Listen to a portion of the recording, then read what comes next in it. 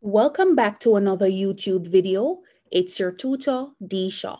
Today, I'll be concluding the CSEC Biology June 2021 paper 2.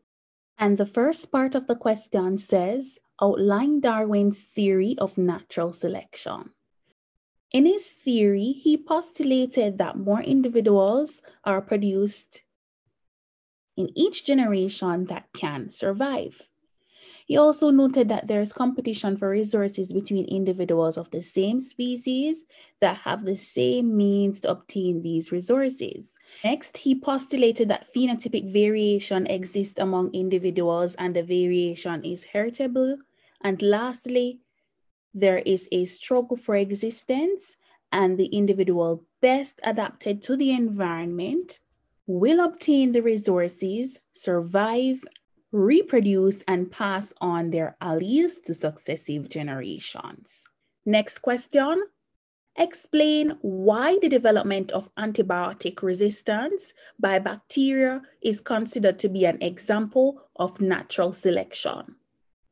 To understand this question, let me reiterate the definition for natural selection. This is a process in which organisms possessing certain genetic characteristics that make them better adjusted to the environment survive, reproduce, and transmit their important traits to succeeding generations. Now, how does the development of antibiotic resistance by bacteria is an example of this process? When an antibiotic drug is introduced to a population of bacteria, those most susceptible to the antibiotic will die quickly.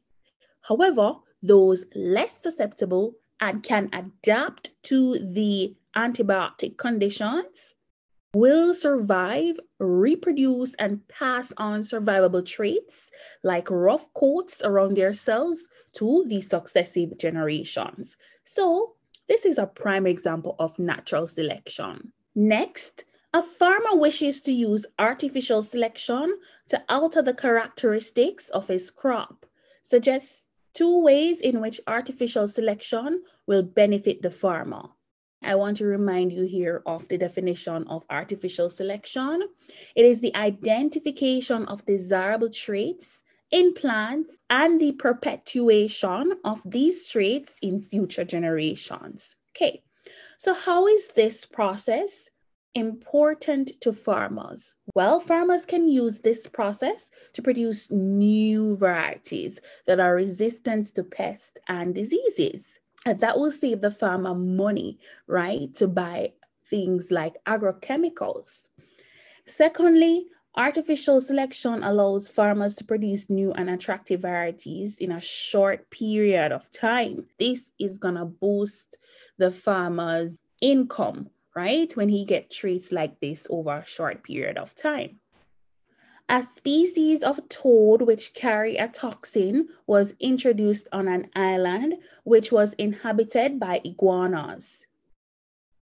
The iguanas ate mainly toads. Many, but not all of the iguanas died when they ate the toads.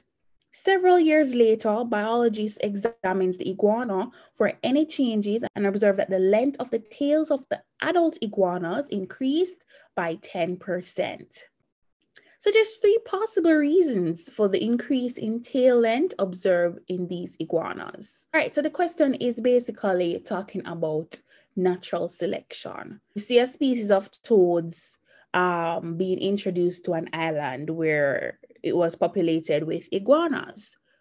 So naturally, the iguanas are going to start to consume these toads right? Some died, some were able to survive, adapt to the environment, and reproduce. It is the adaptation to the environment that enabled them to develop new characteristics like an increase in tail length. The, the length of the tails increase to support their exploration of things like new food sources. Recall the iguanas lived on an island, right? So um, it could be that their tails elongated to facilitate the process of swimming. And lastly, their tails could grow longer as a mechanism to develop to deliver painful strikes to predators. Those iguanas with tails that could successfully kill or ward off predators could pass on their traits.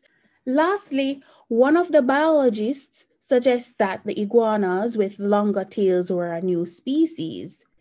But another biologist argued, argued that species is not determined by different physical features. It was later concluded that the iguanas with longer tails were not a new species. Provide an explanation to support this conclusion. So indeed, the iguanas with longer tails were not a new species because it was just that due to selective pressures in the environment, iguanas had to find ways to adapt to the environment and thus evolve new traits. And finally, describe two situations which may lead to the evolution of a new species. Keyword there, evolution. So recall speciation is the process by which a new species is formed. How can we have a new species being formed during evolution? Well, a new species can form when a group of individuals remain separated from the rest of a species long enough to evolve different traits.